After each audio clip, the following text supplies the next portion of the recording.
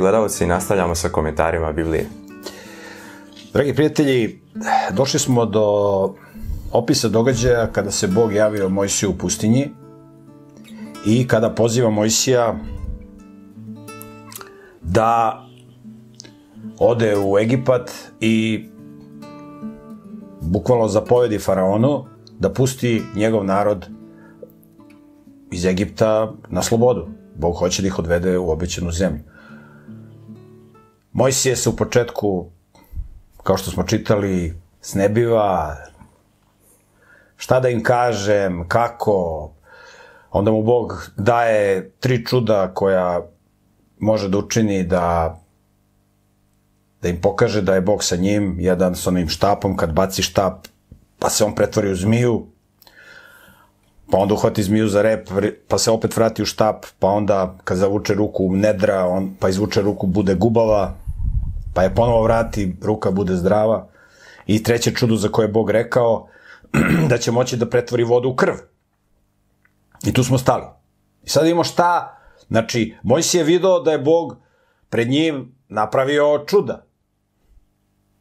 I želi na taj način da ga ohrabri, da ode u Egipat i da Bog preko njega izvede svoj narod u obećanu zemlju. Međutim, šta kaže Mojsije?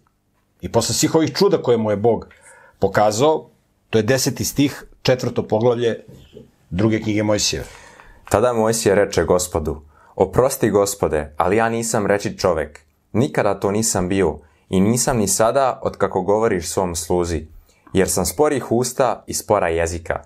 Na to mu gospod reče, ko je dao usta čoveku i koga čini nemim ili gluvim? Komu daje da vidi ili da je slep? Zar nisam to ja, gospod? Zato sada idi i ja ću biti s tvojim ustima i naučit ću te šta ćeš govoriti. Ali on reče, oprosti gospode, ali molim te pošalji nekog drugog. Tada se gospod žestoko razgnevio na Mojsija i rekao mu, zar nije Levit Aron tvoj brat? Znam da je on veoma rečit. I evo, baš ti ide u susret. Kad te vidi, obradovaće se u srcu. Ti mu govori i stavlja reči u njegova usta, a ja ću biti s tvojim ustima i s njegovim ustima i naučit ću vas šta ćete reći, šta ćete raditi. I on neka umjesto tebe govori narodu. On će tebi služiti kao usta, a ti ćeš njemu služiti kao Bog. A ovaj štap uzmi u ruku, da njime činiš čuda. Znači, Mojsije se ustručava i kaže, Bože, nisam ja rečit, nije to za mene, nađi nekog drugog i tako dalje. I sad mi ovde možemo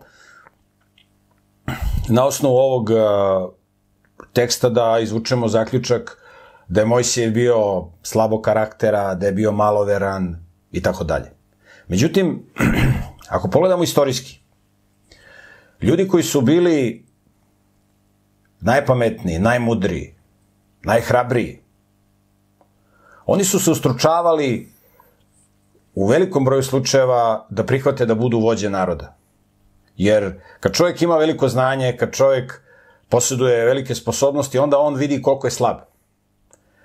Ljudi koji se bave naukom često kažu, znate, kad krenem da istražujem u nauci i da nešto proučavam, možda da bude teologija, možda bude neka druga nauka, kaže, nauka to je kao više glava ždaja. Znači, pojavi se ždaja koji ima puno glava. I kaže, vi odsečete jednu glavu, to je ždaj, a ono iskoče dve glave na tom mestu gde ste isekli tu jednu glavu. Tako i u nauci, kad krenete da istražujete, otkrijete koliko sve manje i manje znate. Ljudi koji znaju jako malo, oni misle da ste vi mnogo pametni, da puno znate. Međutim, što više krenete da otkrivate, to vidite koliko je to kompleksno, koliko je to složeno, kako je to Bog napravio grandiozno, kakvih sve tu ima širina i dubina i tako dalje. I onda vidite koliko ste vi slabi. I postoji jedan a, tekst u Bibliji, vrlo zanimljiv, vezano za ovo Mojsjevo odbijanje da a, bude predvodnik Božeg naroda, gde ćemo vidjeti kako Bog opisuje u jednom tekstu jednu priču kako ljudi koji imaju veliko znanje često puta se ustrčavaju i veliku hrabrost i tako dalje da preuzmu odgovoran posao zato što su svesni svoje slabosti. A kako oni koji malo znaju, oni su hrabri, ja ću to, ja, kad bi ja došao do para, samo kad bi ja imao pare, ja bi čudo napravio, onda odu pa se zaduže u banci pa propadnu skroz. Ili ja bih ovo, ja bih ovo, razumete? Uglavnom ti koji pričaju da ja, ja, ja, to su oni koji imaju mala znanja, koji imaju male sposobnosti, ali oni su oni su spremni da oni preuzmu odgovornost, da oni su sve mogući i tako dalje i tako dalje. I postoji jedan, jedan vrlo zanimljiv nekoliko stihova koje ćemo pročitati, to je knjiga o sudijama, deveto poglavlje. Znači, knjiga o sudijama, deveto poglavlje, a, od 8. do 15. stiha. Vrlo zanimljivo vezano za ovo, ovaj, znači, od 9. do od 8. do 15. stiha. A, samo, samo seko, znači deveto poglavlje, da ja pratim, znači od 8. do, do 15. A, stiha. Slušajte ovu priču. Ovo je, ovo je, ovo je priča koja govori o ljudima različitih karaktera i različitih profila.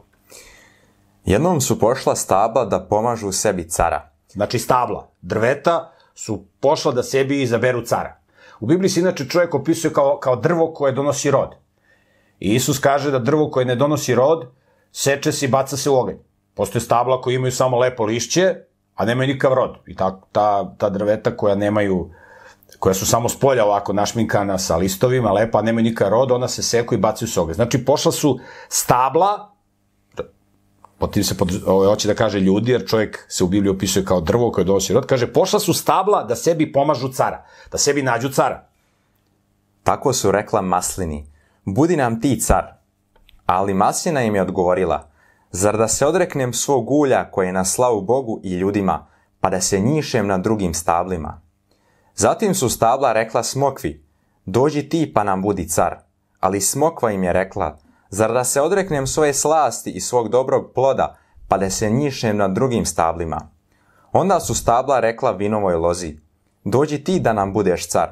A vinova loza im je odgovorila, zar da se odreknem svoje šire Šire. šire, To je sok iz grožđa, šira. Nepokoren sok iz grožđa. koje prija Bogu i ljudima, pa da se njiše na drugim stablima. Na kraju su sva stabla rekla trnovitom grmu, dođi ti da nam budeš car. A trnoviti grm je odgovorio stablima, ako zaista želite da me pomažete, pomažete za cara, dođite i sklonite se u moj hlad. A ako nećete, neka izađe vatra iz trnovitog grma i proguta livanske kedrove. Znači, ovde se govori o drvetima koja donose najpoznatiji rod u svetoj zemlji. Znači, maslina, zatim a, smokva, zatim vinova loza, čuveno grožđe i svete zemlje. I ova drveta su rekla, mi nećemo.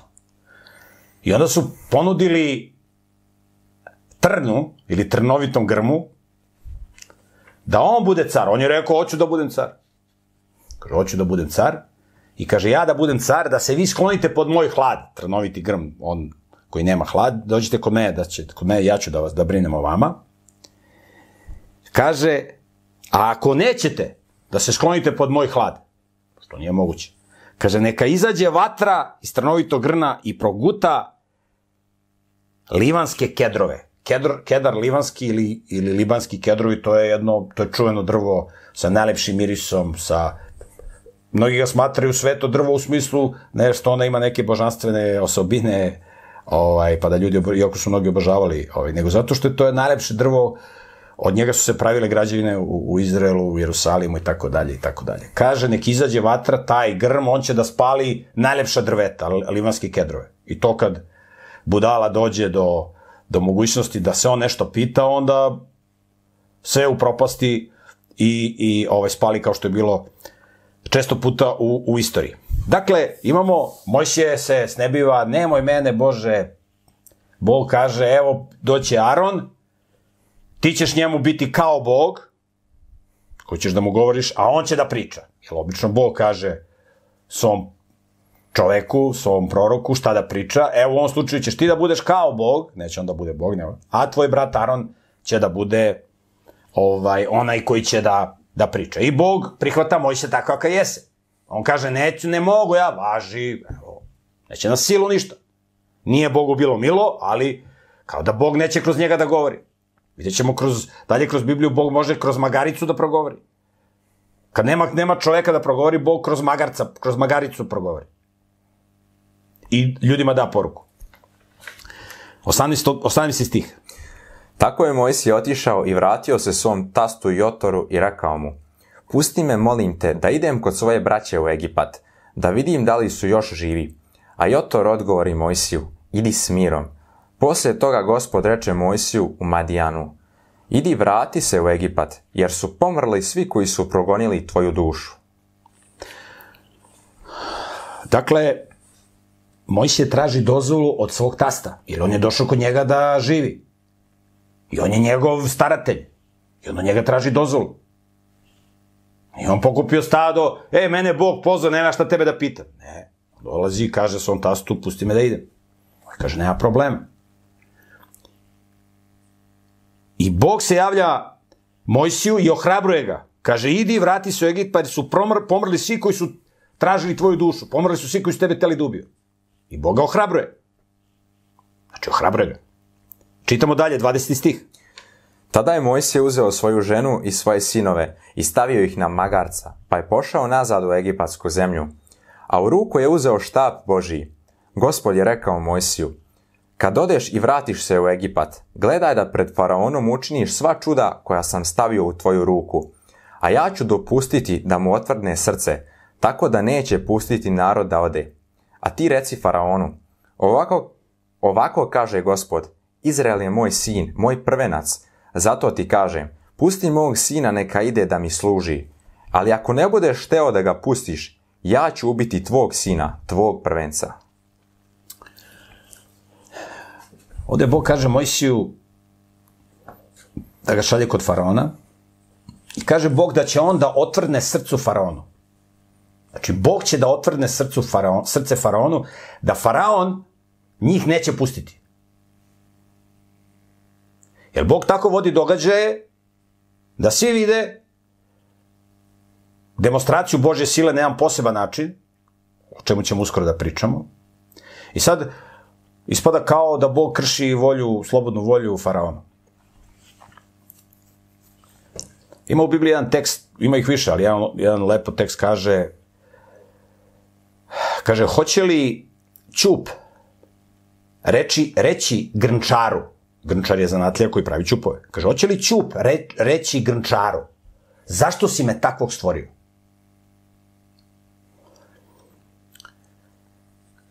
Bog je zainteresovan za spasenje svakog čoveka. I on se bori za svakog čoveka. Međutim, kada čovek u svom grehu, u svom nemoralu, u svom odbijanju Božih poziva da se pokaje, Bog se za svakog čoveka bori. Javlja mu se preko savesti, javlja mu se preko drugih ljudi, javlja mu se preko Biblije, preko čuda iz prirode i tako dalje i tako dalje. I poziva ljude, preko bolesti se Bog javlja ljudima. Ljudi nezdravo žive, Bog pusti bolest na njih. Ljudi odbacuju, odbacuju, odbacuju, odbacuju. Tonu, tonu, dublje. Njihov karakter je sve gori i gori. I u jednom trenutku kad pređu jednu crvenu liniju, da je tako nazovemo, ljudi dođu u jedno stanje kad više ne mogu da se poprave. To stanje u Bibliji se zove hula na svetog duha ili hula na duha svetoga.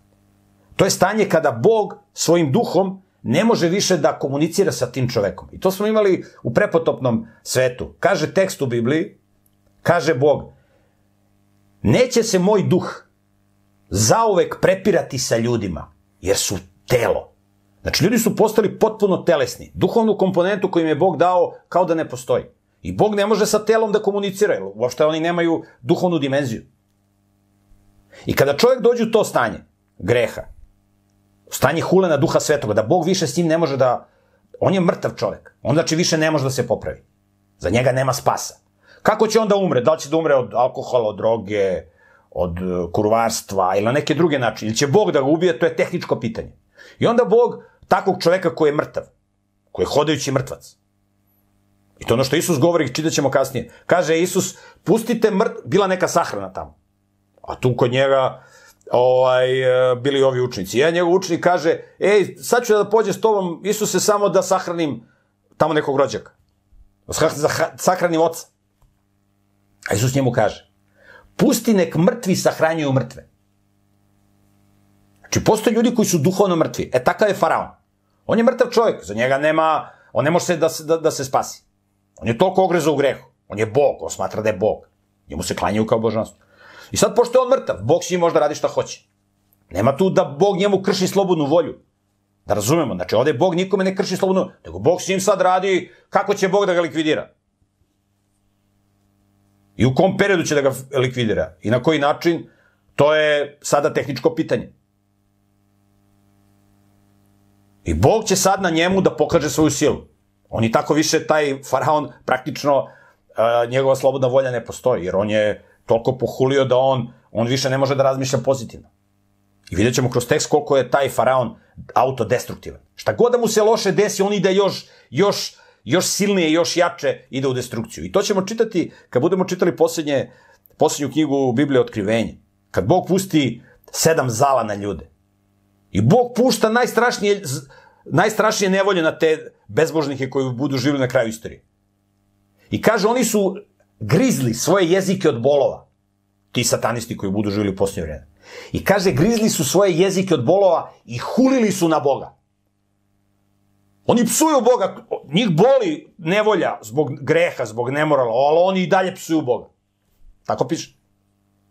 E, to je slučaj sa faraonom. I Bog kaže, sad ću ja na njemu, na tom satanisti, da pokažem, sad ću njega da iskoristim da preko njega pokažem svoju silu. Znači, nema ovde nikakve kršenja slobodne volje. Faraon je iskoristio sve mogućnosti koje ime, ima. I prešao crvenu liniju i on se tretira u mrtve. Da li Bog koristi kamen ili koristi ovaj, neku stenu tamo ili zemlju rastresitu ili koristi faraona, on koristi mrtvu materiju. Jer on je duhovno mrtav. Pusti nek mrtvi sahranjuju mrtve. I Bog kaže, ovako ćeš da mu kažeš. Izrael je moj prvenac. Jer Izrael narod Izraela, potomci Izraela. Oni su Boži prvenac. To je prvi narod kome se Bog otkrio na jedan poseban način. I Bog je želeo da preko tog naroda sve druge narode na svetu informiše o sebi, o planu spasenja, o tome kako mogu da se izvuku iz greha, iz tamnice greha i tako dalje. Znači, Bog je, Boži plan je da formira, kao što ćemo vidjeti, jednu državu koju će onda štiti, koja će živeti po određenim zapovestima koje će Bog da da, koje on već dao, ali će sada da ih iza, bit će i zapisane i za nas. I vidjet ćemo kako kaže u Bibliji. Kaže, kad budete živjeli po mojim zapovestima, vidjet će okolni narodi i reći će, veliki je to narod, kakve dobre zakone i uredbe imaju. To je ono kako mi treba da budemo videlo on svetu, da svojim životom i zakonima po kojima mi živimo, zakonima zdravlja, zakonima morala, higijene, čistote, požrtvovnosti, gostoljubi, da mi budemo oni za koje će drugi da kažu veliki je ovo čovek, velika je ovo porodica, veliki su ovo ljudi, kakve dobre zakone oni imaju, kako vaspitavaju svoju decu i tako dalje i tako dalje pametni ljudi da to prepoznaju. Naravno, budale će da kažu, oni su krivi za naše stradanje, treba ih pobiti. Znači, Izrael je moj prvenac, kaže Bog. Ako ti ne pustiš mog prvenca i hoćeš da ga ubiješ, kao što to radiš sada, mučiš ga, hoćeš njegovu decu, bacaš u nili i tako dalje i tako dalje. Ako ti ubiješ mog prvenca, ja ću ubiti tvog prvenca.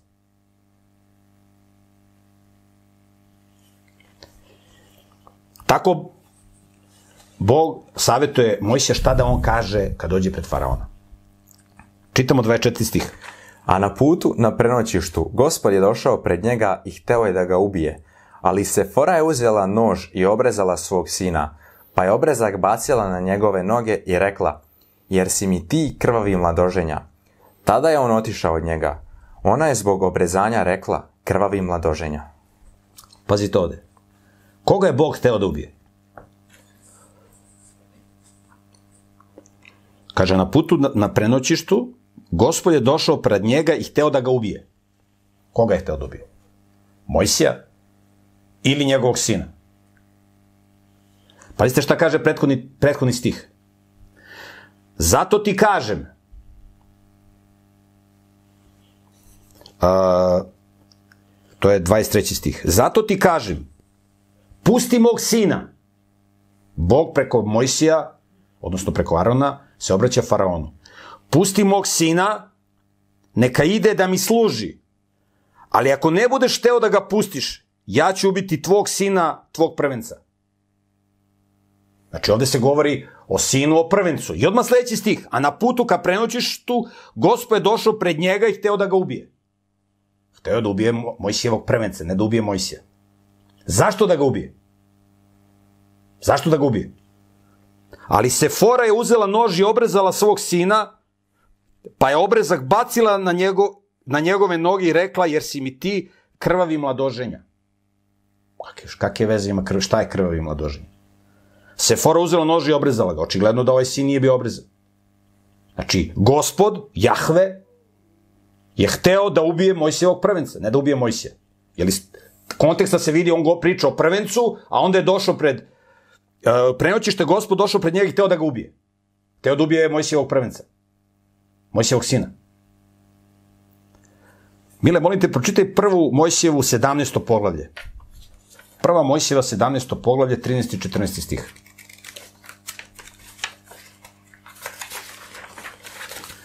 Sedamnesto poglavlje, 13. i 14. svih stih. Svako ko se rodi u tvom domu i svako ko bude kupljen tvojim novcem, neka se obreže. Tako će moj savez na vašem telu biti savez koji će trajati do veka. Ovde Bog priča sa Avramom. Znači, svi da se obrežu u njegovom domu. I koga kupi i sluge, svi moraju da budu obrezani. A muško koje se ne obreže, ta duša neka se istrebi iz svog naroda. Ta je prekršio moj savez. Znači, Bog je rekao da se obrezuješ. Onaj ko se ne obreže, da se istrebi iz naroda. I moj se je dobio sina, nije ga obrezao. Ali bi je imao pametnu ženu. To je ono što piše u Bibliji. Dobra je žena dar od Boga. I njegova žena, njegova žena nije htela da se pravi pametna, tu je Mojsije. Verovatno je na njemu i pričala, ajde ga obrežemo, ajde ovo, ovo je verovatno, ne, nemamo te detalje. Ali Mojsije treba to da, da završi. Ova žena nije, ona je tačno znala šta treba da se uradi, da je dete trebalo da se obreže osmog dana. I kad je došao gospod da ubije njegovog sina, ovo su ozbiljne stvari, ti si sveštenik, vidjet ćemo mi kasnije kako su poginuli Aronovi sinovi, kad, je, kad se bude uh, sazido hram. Aron, Aron imao četiri sina. I njegova dva sina nisu obavljale službu kako treba, prinosili kad na pogrešan način, zafrkavali se. Kaže, sišla vatra s neba i ubila mu dva sina. Aron, kaže, Aron, je, Aron prećutao. Ništa nije rekao. Su ozbiljne stvari. I kaže, izvukli su ih odatle i onda su Aronova druga dva sina služila u hramu. Pa je Bog rekao, ne sme niko da dira kovčeg zaveta. Razumite? I onda kad su prenosili kovčeg zaveta, našao se neki tu sa strane koji nije sveštenik, da on pripomogne malo kovčeg da se ne prevrne sa kola. Kaže, si išla vatra, Boga ubio tog uzu neko. Čitaćemo. To su ozbiljne stvari. Bog je rekao, ovo su, ti si ušao u savez sa mnom. Moraš da poštuješ zapovesti. To je radikalno. Prijatelju, niko te ne tera da ti ulaziš u savez sa Bogom. Ako nećeš da uđeš u savez sa Bogom, nemoj. Živi kod ne zna božnički narod, idi tamo u Sodom pa živi. Ali ako si prihvatio uslove saveza, kroz rascepljene životinje si prošao, ti si prihvatio odgovornost. Razumeš? To ti isto koji danas ti uzmeš kredit u banci i posle kmečiš što nemaš da vratiš. I banka je kriva. Što si ti, niko te nije terao da potpisuješ tamo taj nepovoljni ugovor. Nego ti si pametan. Razmisli o postupcima koje praviš. I kaže, Sefora je uzela nož i obrezala svog sina. Sigurno da to obrezanje nije trajalo dve sekunde. Mi ne znamo koliko je bio star njen sin. Ali gospod je očigledno sačekao da ona obreže sina. Pa je obrezak bacila na njegove nogle i rekla, jer si mi ti krvavi mladoženja. Taj gospod, taj Jahve, koji se ljudima javlja kroz, kroz sve ovo, mi smo videli ko je on. To je Isus Hristos. Mi smo, na, mnogi, Isus je prikazan u filmu kao neki hipi, kao da neki, da, on je dobar, hipi, kod njega sve može. Pogledajte kako Isus opisan. Pogledajte kako je opisan. Sad ćete vidite kad anđeo gospodnji, taj Isus, bude prošao kroz Egipa, šta će napraviti. On jeste jagnje Božje zaklano od postanja sveta. Isus je tako opisan. Ali Isus je opisan i kao lav iz plemena Judina, koji će da izgazi neznabošce. Čitajte u otkrivenju kako Isus opisan. Kao onaj koji gazi u kaci gneva, kome su haljine crvene od krvi, jer će da izgazi neznabošce. Razumete? Onaj ko, ko misli da se, da, da, da se šali sa, sa Isusom, pravi veliku grešku. Apostol Pavle kaže, strašno je upasti u ruke Bogu živom. Bog jeste ljubav, milost. Milosti, žalosti, sporna gnev, obila milosrđe. Jagnje Bože koje je zaknalo postanje sveta. On je laviz plemena Judina. Komandant nebeske vojske. Čitajte 900 pola otkrivenja kako izgleda njegov dolazak. Da on se, da on se kosa digne na glavi. Kaže, šta će vam dan gospodnji, ko, ti što prizivaju dan gospodnji? Tada je mrak i tama, kad Hristos bude došao. I ona je uzela i bacila mu i rekla, ti si mi krvavi mladoženja. Tako je on otišao od njega, ona je zbog obrezanja rekla krvavi mladoženja. Krvavi mladoženja. Kroz celu Bibliju mi ćemo čitati da Isus opisan kao mladoženja. A njegov narod je njegova nevesta, sa kojom treba da se venča na kraju istorije. A njegov narod su njegova deca. A, a, a pojedinci u narodu su njegova deca, ali narod je njegova nevesta. I u Bibliji se stalno govori kako je Boži narod opisan kao nevesta, kao čista žena. Obučena u sunce, u belim haljinama, simbol čistote. I, i Sefora je odlično znala ko je Isus Hristos. I ona je odlično znala da je on opisan kao mladoženja. Mi, to, mi ovde to nismo videli u dosadašnjem tekstu, ali vidjet ćemo, ona je znala za zapovest, ona je sve to znala, ona je to slušala, slušala od Mojsije. Ali eto, Mojsije bio površan, nije svog sina obrazao. Ali ona ga obrazao. I ona je, ona je prepoznala Hrista. Ona je znala ko je on. I rekla, ti si, ti si mi krv imao doženje, jer sam obrezala svog sina. A ništa ružno. Šta znači kad imate dobru ženu? A Bog je nagradio Mojsije sa dobrom ženom. Tako i vi, prijatelji, ako hoćete da imate dobru ženu, morate da budete dobri. Ne morate da budete savršeni. Evo vidite, Mojsije nije bio savršen. Ali imao pozitivnu tendenciju. Hteo je da se razvija. Razumete? I Bog mu je dao ženu koja mu je spasila sina. Da ovo znači kad imate pametnu ženu i dobru ženu. Sjeća se moga oca. Kad mi je pričao neke stvari o ženama, ja, ja mu nisam mnogo verovao, dok se ja nisam oženio. Sjeća se kad je moj otac govorio, kaže, kaže, niko ne može da ti bude tako dobar prijatelj kao žena.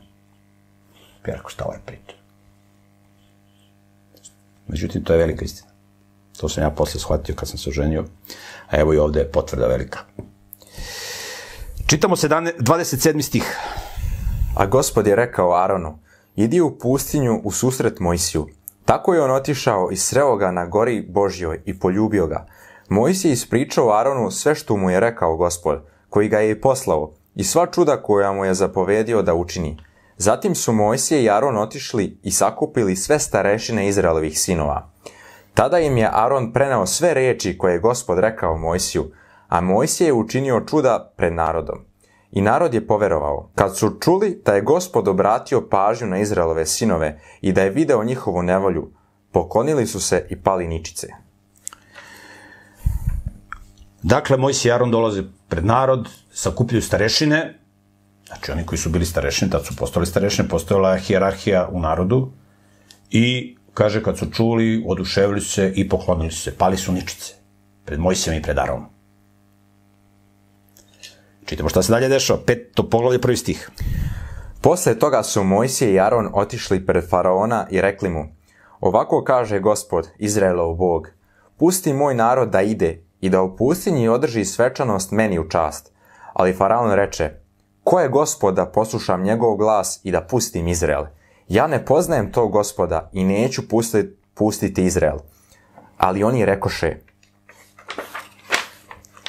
Bog jevreja javio nam se, molim te, pusti nas da odemo tri dana hoda u pustinju i da prinesemo žrtvu gospodu, svom Bogu, da nas ne udari pomorom ili mačem. Na to im egipatski car reče, Mojsije i Arone, zašto odvraćate narod od posla? Idite na svoj posao.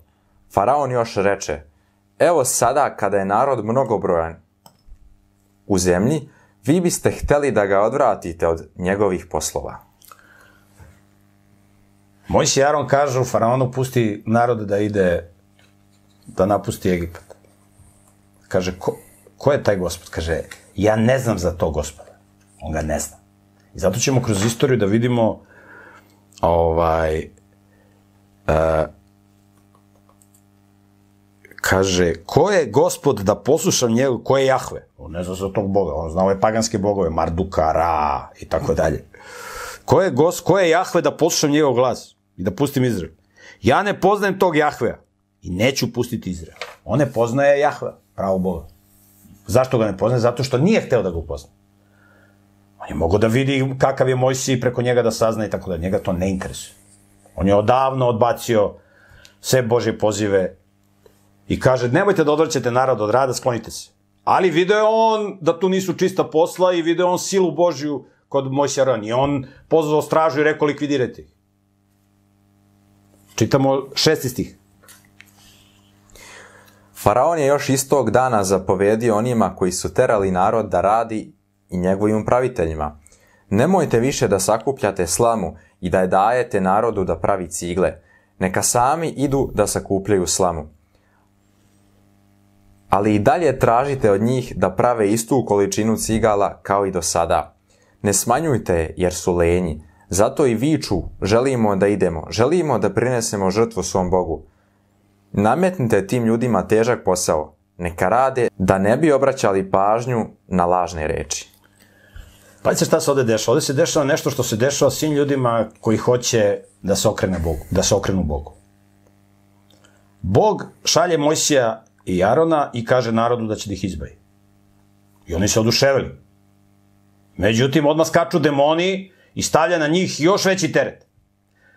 I ja znam mnoge slučajeve ljudi koji su mi se javili, kaže, Miroljub, kad sam počeo da čitam Bibliju, imam neke čudne, čudne mi se stvari dešavaju, imam neke košmare, imam neke napade, familija skače na mene i tako dalje i tako dalje. Odmah demoni skaču, dok se čovek krčka na tih, tihoj vatri, živi u grehu, nemoral, Boga, ovaj, demoni ga ne diraju puno.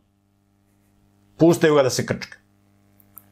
Međutim, kad čovjek sazna za pametne stvari, krene, hoće nešto da promeni u svom životu, odmah skaču demoni preko ekipe koju kontrolišu u okolini, koja nije, nije svesna za, o postojanju demona, odmah skaču da maltretiraju tu osobu, ili čovjek ima košmare neki, tako, znači demoni se bore. I to je znak da čovjek treba da uloži još veći napor. Da je u pitanju borba ljuta. E to, upravo se to dešava Izraelcima u Egiptu. Stiže izbavljenje, demoni još više nasrću. Kaže, sad nek sami skupljaju slamu kad prave cigle. Pre im su im donosili slamu. Sad i sami da skupljaju slamu i da prave cigle. Jer su mešali slamu sa blat, batom pa su sušili pravili cigle. Od kojih su pravili zgradurine tamo faraonu. Znači, otežava im posao. Demon preko faraona. Deseti stih. Tako su oni koji su terali narod da radi i njegovi upravitelji otišli i rekli narodu, ovako kaže faraon, ja vam više neću davati slamu. Idite i sami nabavite slamu gde god možete da je nađete, ali, ali vam se posao neće nimalo smanjiti. Zato se narod razišao po svojoj egipatskoj zemlji da sakuplja strnjiku umesto slame. A oni koji su ih terali da rade, stalno su ih gonili i govorili, svakog dana morate završiti svaki svoj posao kao i onda kada ste dobijali slamu. Kasnije su upravitelji među Izraelovim sinovima, koji su na njima postavili faraonovi nadzornici, dobijali batine jer im se govorilo, zašto ni juče ni danas niste završili posao što vam je određen i niste napravili onoliko cigala koliko i ranije. Znači, kreće teror. Još jači teror. Demoni skaču. Videli su da će da bude izbavljenje. Čitamo dalje, 15. stih. Zato su upravitelji među Izraelovim sinovima otišli da se žale faraonu i rekli su mu, zašto tako postupaš sa svojim slugama? Tvoje sluge više ne dobiju slamu, a ipak nam govore, pravite cigle. Čak tuku tvoje sluge, a kriv je tvoj narod. Ali on reče, lenji ste, lenji ste, zato govorite, želimo da idemo, želimo da prinesemo žrtvu Bogu. A sada idite na posao, nećete dobijati slamu, ali morate napraviti onoliko cigala koliko vam je određeno. Znači, Izraelici se žale faraonu. Ovo ih otera od sebe, nema popuštanja. Hoćete da budete na Božoj strani? Nema, zatežu se uzde. Pazite dalje kome idu da se žale. 19. stih. Tada su upravitelji među Izraelovim sinovima videli da su u velikoj neprilici, jer im je bilo rečeno, ne smete smanjivati količinu sigala određenu za svaki dan. Poslije toga sreli su Mojsija i Arona, koji su tamo stajali i čekali ih da izađu od faraona. Odmah su im rekli, neka vas gospod vidi i neka sudi, jer smo zbog vas postali mrski faraonu i njegovim slugama. Dali ste im mač u ruke da nas pobiju. Tada je se Mojsije obratio gospodu. Gospode, zašto si naneo zlo ovom narodu? Zašto si me poslao? Jer otkako sam izašao pred faraona da govorim u tvoje ime, on čini zlo ovom narodu, a ti nikako da izbaviš svoj narod. Znači, Izraelci se žale Mojsiju faraonu i kaže, vi ste krivi što mi sad stradamo. Što je nam i gore nego što je bilo. I ja znam za tu priču, puno puta su mi dolazili ljudi i kažu, da šta Miroljube, dok nisam slušao tvoja predavanja. Ja sam živeo u miru. Nisam znao neke stvari, bilo mi je fino, čoveče. Sad kad sam saznao neke stvari, koliko je štetno da se puši, da se pije, da se drogira, da se kurva, da... Sad sam u problemu, čoveče, znam da to ne treba, u muci sam, savest mi kaže da ne radim, srce me vuče da radim, napravio si mi, ove tvoje predanje, Mirljube, napravili su mi velike probleme. Ti si kriv. Bolje da nikad nisam gledao tvoje emisije. To mi je mnogo ljudi reklo. E, to je ova priča. Vi ste krivi. Mesto da se mole Bogu, ali oni su toliko bili maloverni. Ali zašto Bog sve ovo dopušta? Da vide koliko je greh strašan. Pazite šta Bog sad kaže, šesto poglavlje, prvi stih. Gospod reče Mojsiju, sada ćeš vidjeti šta ću učiniti faraonu. Snažna ruka nateraće ga da ih pusti i snažna ruka nateraće ga da ih istera iz svoje zemlje. Kaže Bog, sada ćeš da vidiš šta će da se desi. Čitamo dalje. Bog zatim reče Mojsiju, ja sam gospod, ja sam se pojavio Avramu, Isaku i Jakovu kao Bog svemoćni, ali svojim imenom gospod nisam im se objavio. Isklopio sam svoj savez s njima da ću im dati Hanansku zemlju, zemlju u kojoj su živeli kao stranci. I ja sam čuo jeca Izraelovih sinova, koji Egipćani drže u robstvu i setio sam se svog saveza. Pazite šta ovde Bog kaže. Ovde se u prevodu to ne vidi lepo, ali vidi se u originalu. Kaže, Bog zatim reče Mojsiju, ja sam gospod. Ja sam se pojavio Avramu, Isaku i Jakovu, kao Bog svemoćni. Znači, Bog se njima pojavio. Ali svojim imenom gospod nisam im se objavio. To je ovako bio prevod koji je u duhu našeg jezika. Međutim, a, doslovno ovaj, u hebrejskom piše ali sa svojim imenom, sa svojim imenom Jahve nisu me upoznali. Znači, oni mene nisu upoznali. Ja sam se njima pojavio, ali oni mene nisu još upoznali. I tu se koristi hebrejska, hebrejski glagol ladat, što znači znati ili spoznati. U hebrejskom jeziku postoji a, reč makir, kad nekoga upoznate. Ja znam poštara, ja znam a, vozača autobusa, ja znam tamo nekog čoveka, ja ga znam, ali ja ga ne poznajem. Znači, makir je poznavat, znati. U smislu poznavati ovako. A, ali odea znači jedno posebno poznavanje koje se stiče kada s nekim živite u kući, kad ste s nekim u braku, kad s nekim provodite jako puno vremena. To je onda ladat, znati. I, o, i Bog kaže, taj glagol ladat, znati se koristi kad se kaže i pozna Adam ženu svoju. I ona mu rodi sina.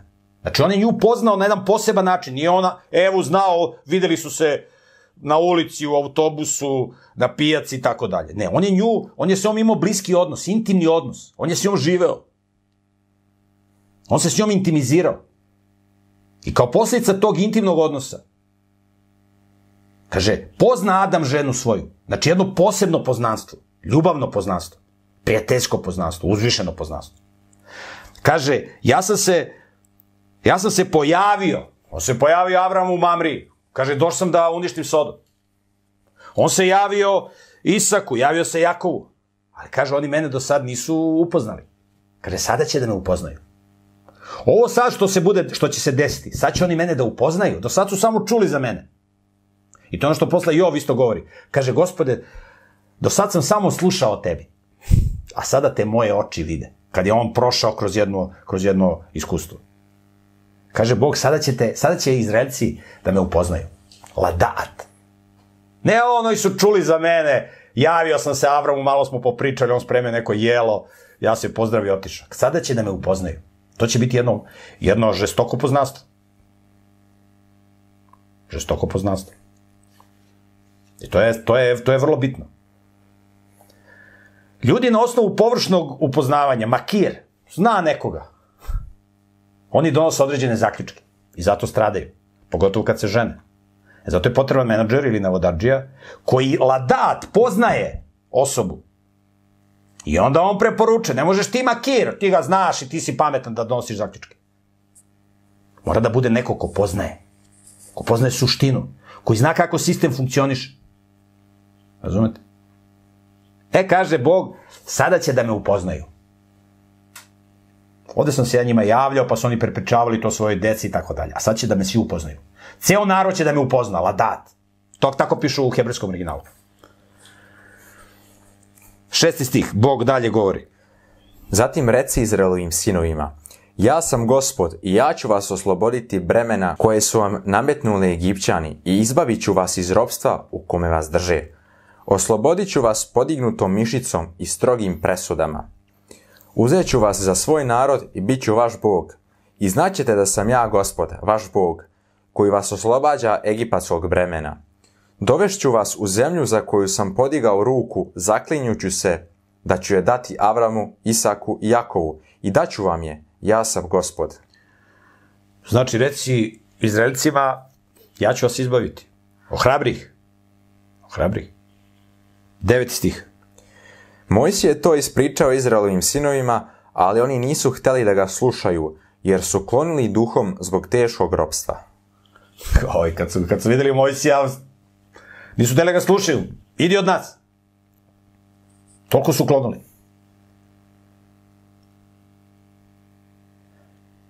To je kao kad imate čovjeka koji je ceo život nezdravo živio. I on leži na, na, pole, na postelji bolestan, pušio, pio, drogirao se, razvaljivo se i on se raspada od bolesti. I sad vi dođete njemu da pričate nešto o zdravlju i tako dalje. On se, idi od mene, ne mogu da slušam, čoveče, nije mi dobro. Pusti mi tu priču. Preduzmi nešto da spasiš tog mrtvaca na samrtnoj postelji. Šta može čovjek da uradi? Šta može Mojsije? Ne može ništa. Šta može Aron? Ne može ništa. Ali ima ko može? Bog. Bog može mrtvaca da digne. I sad će Bog mrtvace da digne iz duhovnog robstva. Kad ih digne iz ruhov, kad, kad ih digne i vaskrsne iz duhovne smrti, onda će lako i fizički da ih vaskrsne. Jer duhovna smrt prethodi fizičkoj smrti.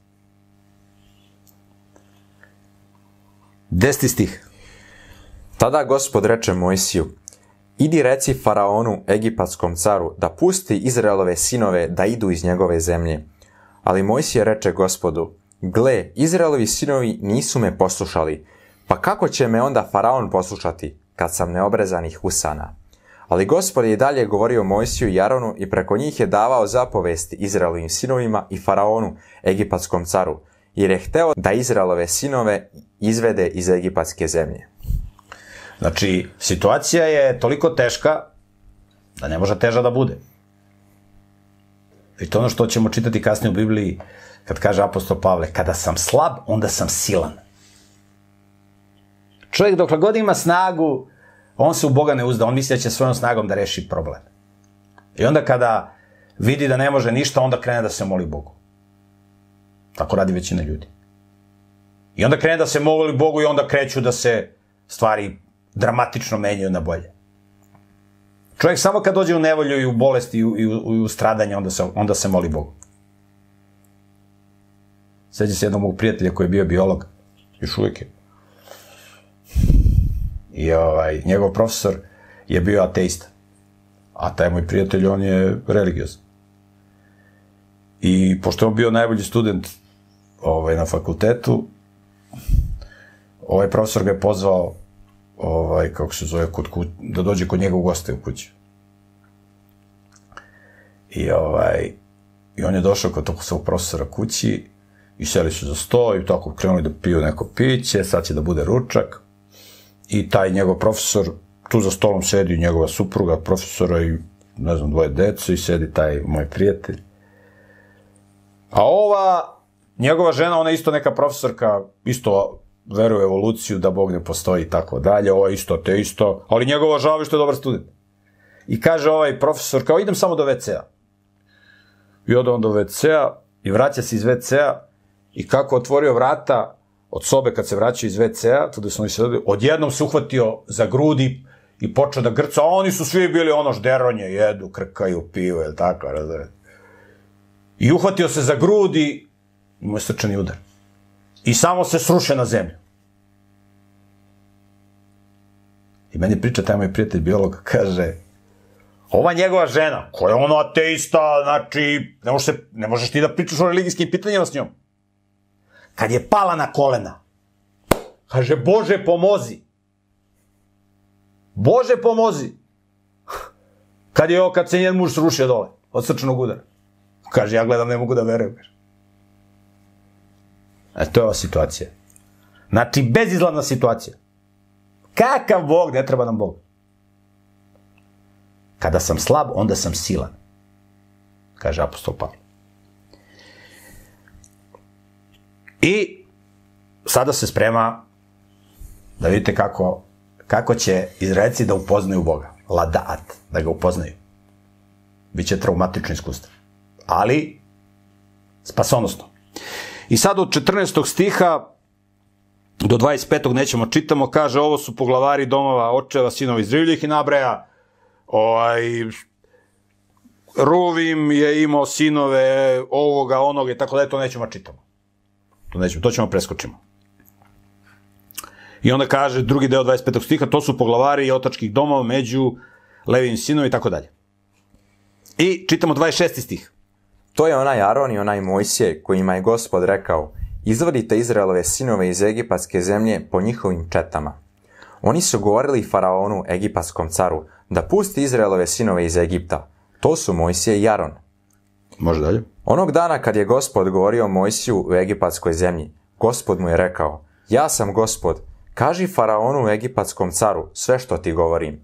Tada je Mojsije rekao gospodu, ja sam neobrezanih usana, pa kako će me faraon poslušati?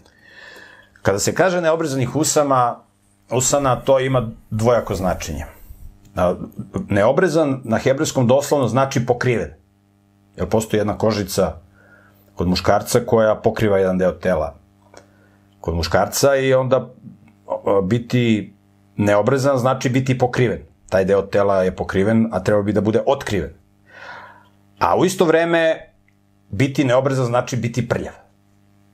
Znači, kada on kaže zašto je prljav, zato što ispod te kožice koja pokriva određeni deo tela se skuplja prljavština i zato ljudi koji su neobrezani jako teško mogu da održavaju skoro nemoguće svoju higijenu. I zato on kaže, on kad kaže ja sam čovjek neobrezanih usana, on kaže meni su usta pokrivena. U smislu ja ne znam da pričam.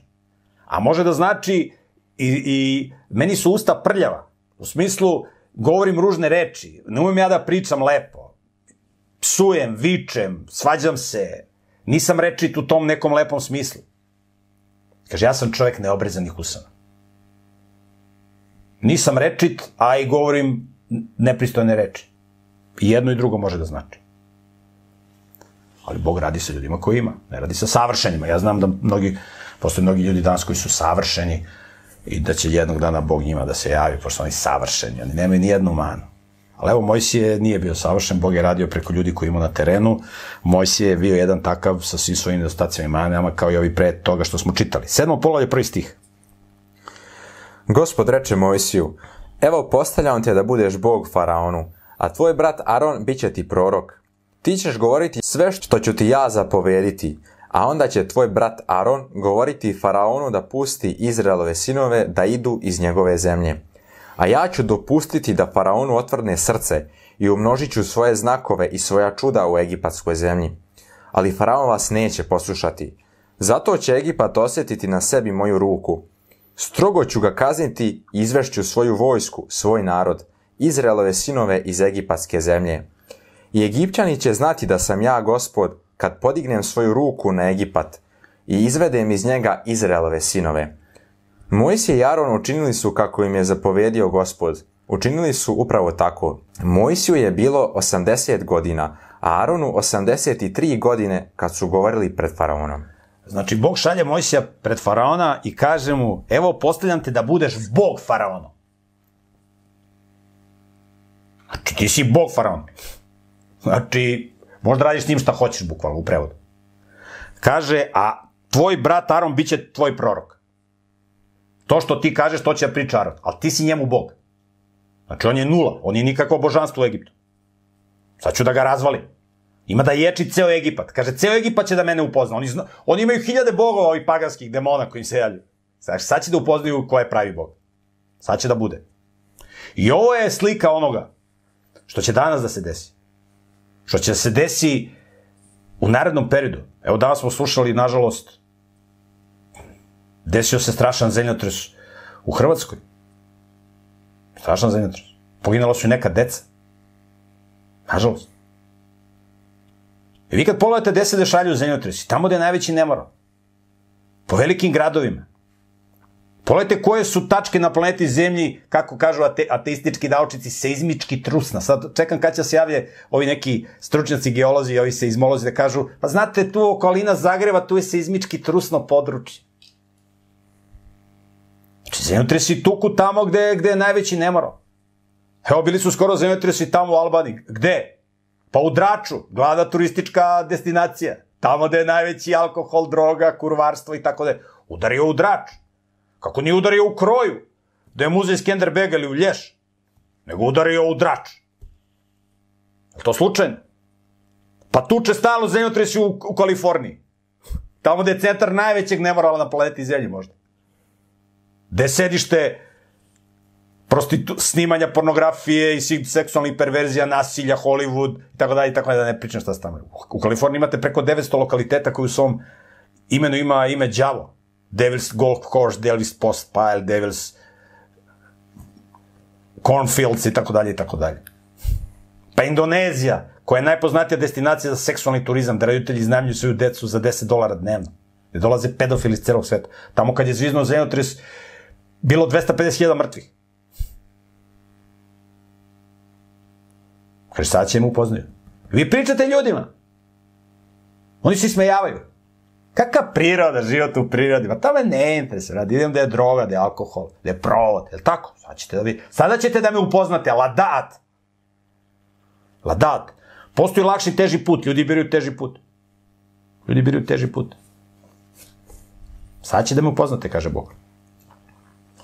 Kaže Bog u Bibliji, kaže, kad govori za ove sataniste, na celoj planeti, kaže, poklonit će mi se svako koleno.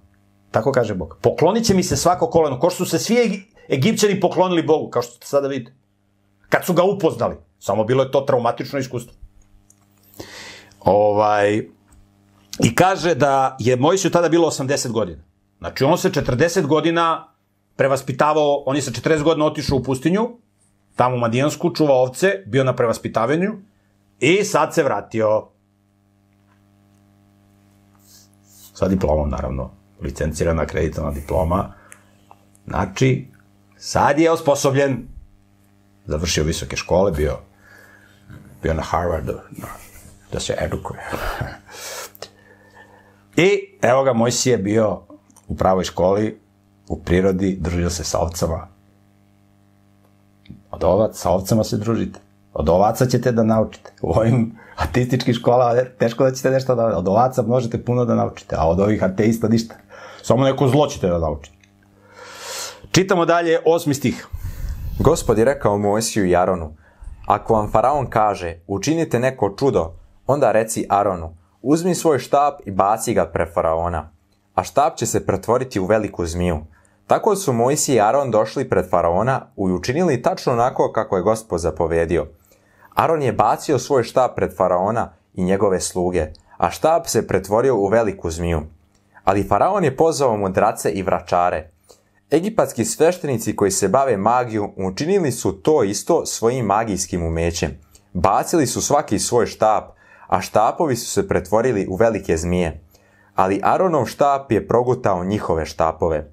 Ipak, faraonovo srce je otvrdlo i on ih nije poslušao, kao što je gospod i rekao. Ovi stihovi su vrlo bitni da vidimo i da se upoznamo sa tim šta sve demoni mogu da rade, kakva čuda mogu da rade. Preko satanista, okultista i ovih satanskih svešnika kao u Egiptu. Znači, a,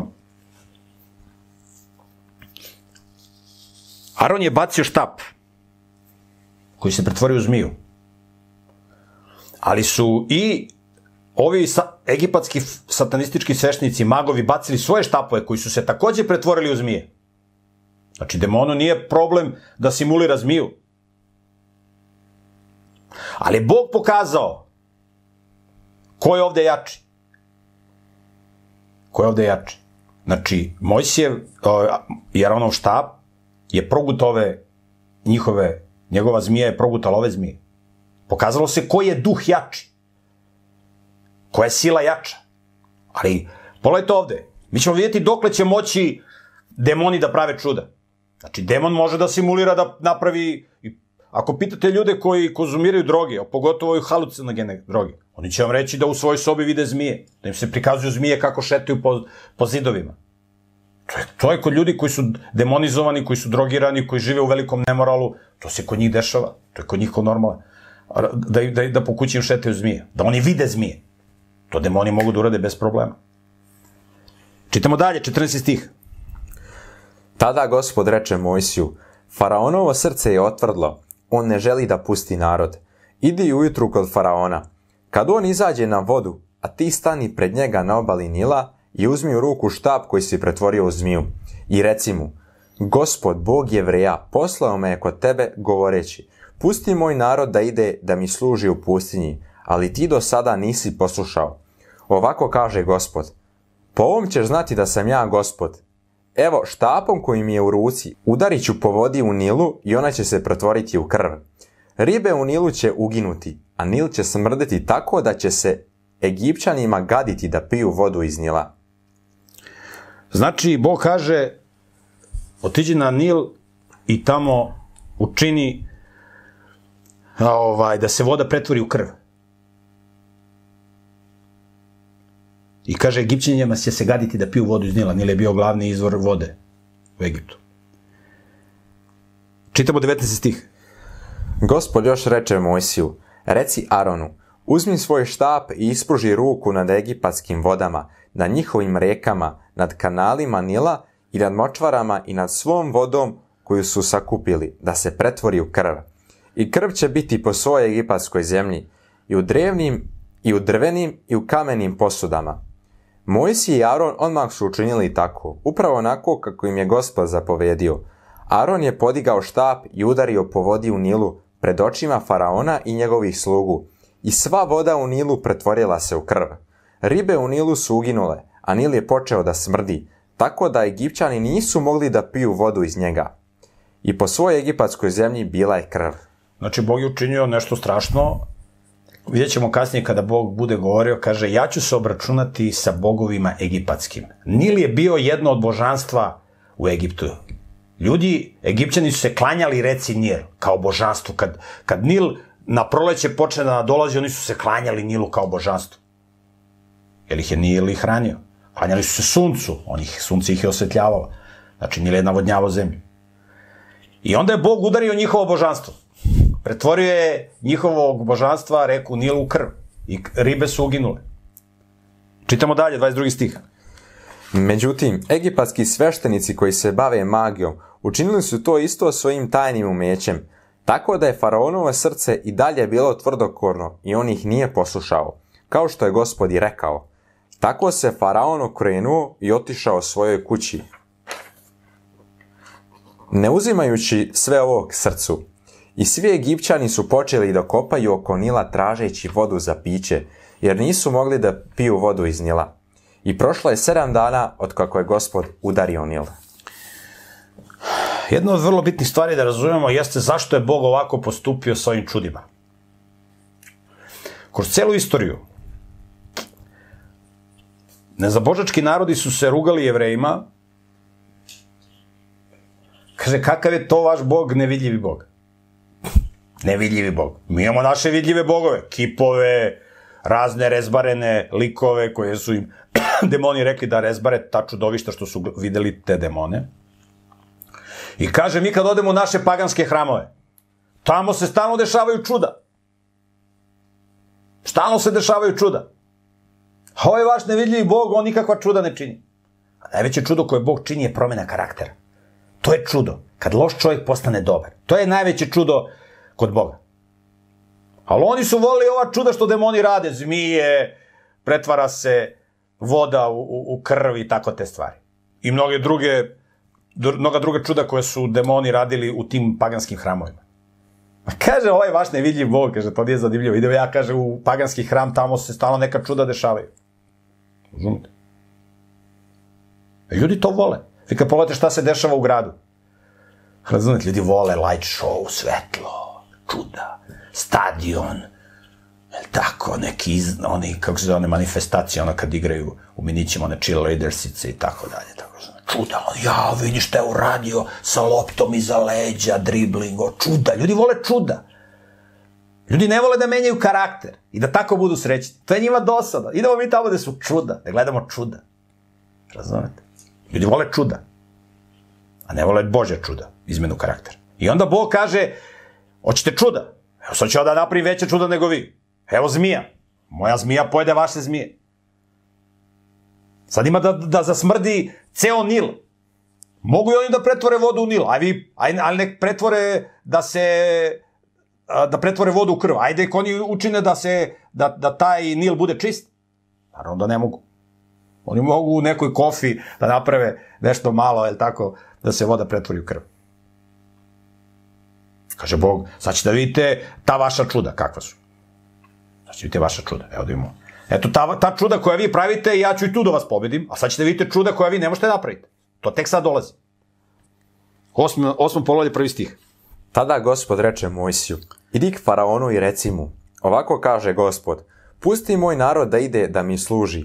Ako i dalje ne budeš hteo da ih pustiš, evo, na svu tvoju zemlju pustit ću žabe, i Nil će vrveti od žaba koje će izaći i ući u tvoju kuću, u tvoje spavaću sobu, na tvoju postelju, u kuće tvojih slugu i tvog naroda, u tvoje peći i u tvoje posude. Na tebi i na tvoj narod i na sve tvoje sluge doći će žabe. Dalje. Zatim gospod reče Mojsiju, reci Aronu, ispuži ruku na svojim štapom iznad reke, kanala Nila i močvara i učini da žabe izađu na egipatsku zemlju. Tada je Aron ispružio ruku nad egipatskim vodama a žabe su počele da izlaze i prekrile su egipatsku zemlju. Ali sveštenici koji se bave magijom učinili su to isto svojim tajnim umećima. Učinili su da žabe izađu na egipatsku zemlju. Tada je faraon pozvao Mojsija i Arona i rekao im, molite gospoda da ukloni žabe od mene i od Bog naroda, pa ću pustiti vaš narod da ide da prinese žrtvu gospodu. A, a Mojsije na to reče faraonu, Tebi prepuštam čast da mi kažeš kada hoćeš da se molim za tebe, za tvoje sluge, za tvoj narod, da se uklone žabe od tebe i od tvojih kuća i da ostanu samo u Nilu. On odgovori, sutra. A Mojsije reče, bit će kako si kazao, da znaš da niko nije kao gospod, naš Bog. Žabe će otići od tebe, od tvojih kuća, od tvojih slugu i od tvog naroda. Ostaće samo u Nilu. Dakle, Bog šalje njima njihovo božanstvo. Egipćani se klanjali žabama. A eto se žabama. Sad će žabe na nos da vam izađu. Pustio žabe po celoj, po celom Egiptu. Ali, satanski sveštenici su i oni uspeli da naprave žabe. Znači, demoni su mogli da se pretvaraju u žabe. Znači, može, eto i to mogu. Ali nisu mogli da uklone žabe. I pazite šta kaže faraon, ajde uklonite ove žabe, pa ću vas pustiti i tako dalje. A kaže, kaže, pomolite se gospodu da se sklone ove žabe. A Mojsije kaže, važi tebi prepuštan čas da mi kažeš kada hoćeš da se molim za tebe. A faraon kaže sutra. A faraon odgovori sutra. Pa čeka, da nećeš odmah da se molim za tebe da te spasim žaba. Ne, ne, ne, ne, ne, sutra. Vidiš, ovi moji satanski sveštenici, oni su, oni su pretvorili pretvorili, ovaj, stvorili su žabe, možda oni mogu tu nešto da urade. On se još uvek uzdao u svoje, u svoje stručnjake, eksperte, licencirane, akreditovane, je li tako? Kaže sutra, da vidimo možda će do sutra nešto oni ovi, ovi razumeš, da ne moram baš na tvog ovog Boga da se oslanjam.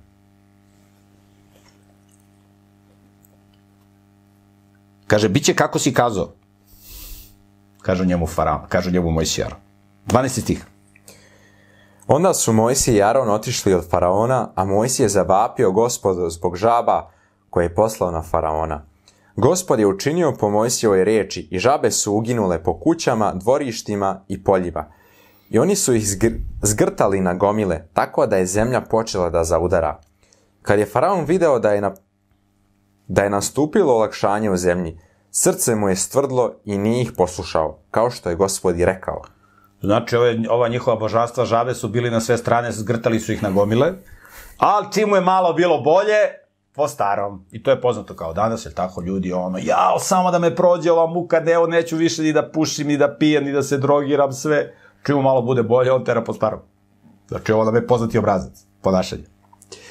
16. stih. Tada gospod reče Mojsiju, reci Aronu, isprzi svoj štap i udari po prahu na zemlji i neka se pretvori u vaške po svojoj egipatskoj zemlji. Oni su učinili tako. Aron je ispružio ruku sa svojim štapom i udario po prahu na zemlji i vaške su došle na ljude i na životinje. Sav prah na zemlji pretvorio se u vaške po svojoj egipatskoj zemlji. A sveštenici koji se bave magijom pokušali su da svojim tajnim umećem naprave vaške, ali nisu uspeli. I tako su vaške došle na ljude i na životinje. Tada su sveštenici koji se bave magijom rekli faraonu, ovo je prst Božiji, ali faraonovo srce je i dalje bilo tvrdokorno i nije ih poslušao, kao što je gospod i rekao. Dakle, Bog je do određene mere pustio da demoni prave čuda. Pustio. I ovaj kaže sutra, da vidimo možda ovi svešnici mogu još nešto. I tu je on polako radio Bog i s ovim svešnicima. Međutim, kad je Bog pretvorio, kad je učinio da vaške budu po, citao, po čitavom Egiptu, onda su ovi satanski svešnici rekli ovo je prst Boži. Kaže, a svešnici koji se bave Znači, baš, vaške su bile po svima njima. Istorijski izveštaj kažu, kad čitamo istorijski izveštaj, kaže da, pošto su imali vaške, znate kad imate vaške, onda morate da se šišate. Razumete? Da stavljate, da se ošišate i, a ono što je bilo ovaj, zanimljivo u Egiptu, Egipćani su isto koji danas. Imali svoje salone lepote. Tamo, da tamo su išle žene da prave frizure, da onduliraju, razumete. I ne samo žene, nego i muškarci. Imali su frizure, da. I ne samo to, muškarci su imali brade, koje su isto ukrašavali, pa su pravili neke, neke čvoriće, neke mašnice, neke egzibicije, razumete. Kao božanstvo. I onda kad se pojavi negde sa, sa tom frizurom, razumete, s tom glavurdom i sa bradom, razumete, onda si u njega, o, što ima bradu, što ima lepu kosu. I ovaj im pusti vaške. I onda su svi morali se šiše na ćelavo, i muškarci, i žene, i brade da briju, razumete, i da, i da, ovaj, da bi se spasili od vaške. Jer vaške se skupljaju, je tako, tu gde su dlake. Sad ćemo malo da vam promenimo frizuru, kaže Bog u prevodu. I kažu ovi satanski svešnici, kažu ovo je prst Boži. Zamislite kad satanisti, kad satanski svešnici kažu ovo je prst Boži. Međutim, ovaj faraon, on tvrdo koraz kaže ne, ne, ne, ne, ne. Idemo dalje, 20. stih. Zatim gospod reče Mojsiju, ustani rano ujutru i stani pred faraona. Evo, on će izaći na vodu, a ti mu reci, ovako kaže gospod, pusti moj narod da ide da mi služi. Ako ne pustiš moj narod, evo, ja ću pustiti obade na tebe, na tvoje sluge, na tvoj narod i u tvoje kuće. Kuće Egipćana bit će pune obada, pa i zemlja na kojoj su. Ali tog dana odvojit ću zemlju Gesem u kojoj živi moj narod, da tamo ne bude ni jednog obada, tako da znaš da sam ja, gospod, usred ove zemlje. Napravit ću razliku između mog naroda i tvog naroda. To će se čudo dogoditi sutra.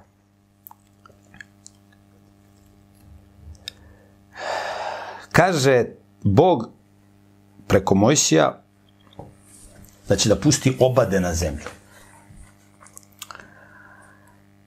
U hebrejskom tekstu se koristi reč arov, što doslovno znači mešavina, miks. mešavina.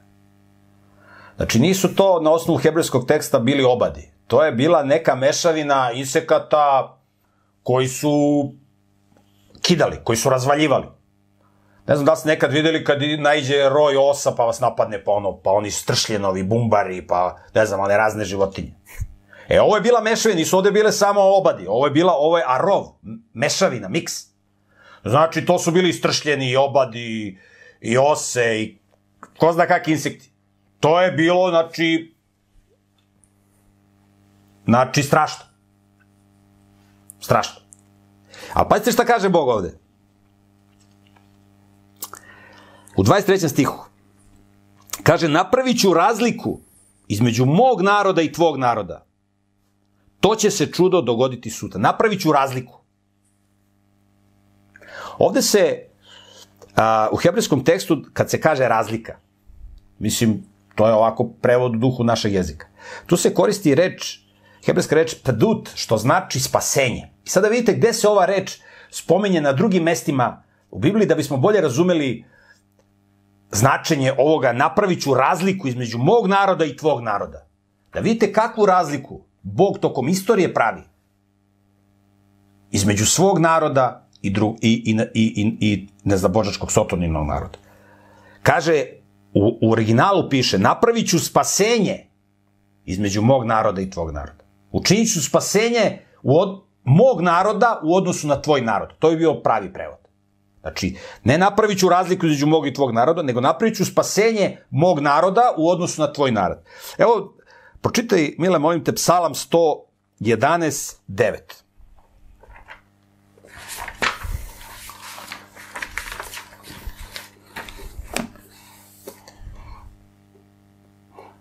Otkup je poslao narodu svome. Zapovedio je da savez njegov do veka traje. Ime je njegovo sveto i strah uliva. Otkup ili spasenje. Znači, spasenje, tu se koristi reč pedut. Pročitaj još jedno. Otkup je poslao narodu svome. Otkup je poslao narodu svome. Ili spasenje je poslao narodu svome. Zapovedio je da savez njegov do veka traje. Ime je njegovo sveto i strah uliva. Pročitaj, pročitaj uh, Isaju 50. polavlje, drugi stih.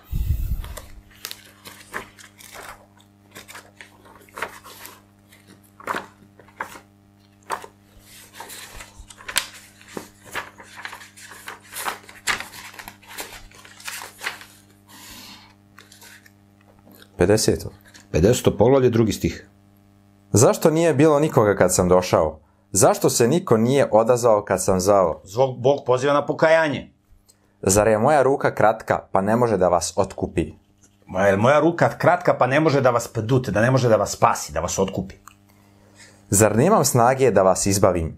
Gle, kad zapretim, more se isuši i reke se pretvore u pustinju. Znači, ovde se koristi ta ista reč kao i na ova dva mesta. Kaže, napravit ću spasenje mog naroda u odnosu na tvoj narod. To je doslovan prevod. I vidite, dolaze velike nevolje. Dolaze velika zla. Dolaze strašna, strašni dani na planetu Zemlji. Ali postoji razlika između Božjeg naroda i naroda koji nije njegov. Božji narod se razlikuje, po, se, se karakteriše time što živi po Božjem zapovesti. I Bog na poseban način štiti svoj narod. Pogledajte, kaže, poslaću obade, odnosno mešavinu najstrašnijih insekata.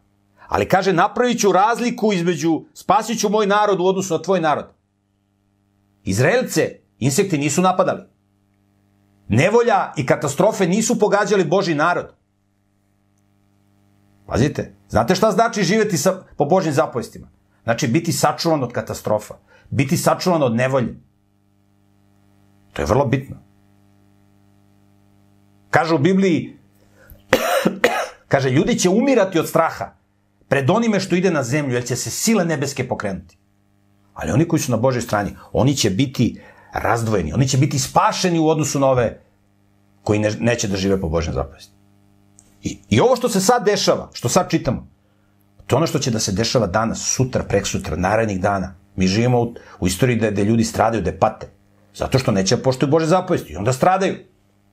I onda kad dolaze nevolje i katastrofe, koje Bog dopušta, jer boli patnja su mehanizam koji Bog čini da bi ljude sačuvao od samouništenja. Onda, onda se neki prizove u pameti. 24 stih. I gospod je učinio tako. Veliki rojevi obada prepavili su faraonovu kuću i kuće njegovih slugu i svu egipatsku zemlju. Obadi su uništili zemlju. Na kraju je faraon pozvao Mojsija i Arona i rekao im, idite, prinesite žrtvu svom Bogu u ovoj zemlji. A Mojsije mu reče, ne možemo to da uradimo, jer bismo gospodu, svom Bogu, prinosili žrtve koje su nečiste Egipćanima. Kad bismo pred očima Egipćana prinosili žrtve koji su njima nečiste, zar nas oni ne bi kamenovali? Otići ćemo tri dana hoda u pustinju i prinećemo žrtvu gospodu, svom Bogu, kao što nam je i rekao. Faraon kaže, idite prinesite žrtvu ovaj, svom Bogu. Ovaj kaže, kako da prinesemo žrtvu kad ne možemo mi u Egiptu da prinosimo žrtvu. Da mi ovde prinosimo žrtvu ovcu, da prinosimo kad je to, ima da skoče Egipćani da nas kamenuju. Da mi prinosimo žrtvu njihovog Boga. Jer oni su se klanjali ovcama. Kaže, otićemo tri dana, tri dana hoda i prinećemo žrtvu. Šta kaže faraon? 28. stih. A faraon reče, pustit ću vas da idete u pustinju i da prinesete žrtvu gospodu, svom Bogu, samo ne idite predaleko i molite se za mene. Tada Mojsije reče, evo, odlazim od tebe i molit ću se gospodu i sutra će obadi otići od faraona, od njegovih slugu i od njegovog naroda. Ali neka faraon više ne vara narod, ne puštajući ga da ide da prinese žrtvu gospodu. Mojsije je poslije toga otišao od faraona i pomolio se gospodu. I gospod je učinio po Mojsijevoj riječi. I obadi su otišli od faraona, od njegovih slugu i od njegovog naroda. Nije ostao ni jedan, ali faraonu je i ovog puta srce otvrdlo i nije pustio narod da ide. Znači, Bog pa, sa manipuliše sa faraonom, faraon je došao u to stanje i Bog njega koristi da preko njega pokaže svoju silu. Bog je učinio, znači ovaj kaže, e, od, pustit ću vas i tako dalje, čim se situacija, i to je osobina, to je osobina pokvarenih ljudi, demonizovanih ljudi. To je osobina pokvarenih ljudima kojima se nikad ne može verovati. Dok je nevolja, oni jao daj, neću više nikad, jo. Čim se situacija smiri, oni teraju po starom. Oni teraju po starom. I takvim ljudima verovati, i takvim ljudima biti prijatelje jako nezahvalno. Oni će vas prevariti hiljadu puta, upravo zato što su demonizovani, zato što ih ne interesuje nikakva promena karaktera i da se ova analiza ne bi odužila, možda će da bude preako i zbog vaše koncentracije, a nastavit ćemo u sledećoj emisiji da analiziramo šta se dalje dešavalo, kako je Bog intervenisao u Egiptu i kako je izbavio svoj narod iz Egipta. Dragi prijatelji, ako imate neko pitanje vezano za biblijski tekst koji smo danas čitali, možete da ga postavite na komentari biblije at gmail.com. Ako želite besplatno da čitate Bibliju na novom savremenom prevodu, imate link u elektronskoj formi u opisu ovog videa. Također u opisu ovog videa se nalaze informacije kako možete da kupite istu ovu Bibliju. Hvala na pažnji.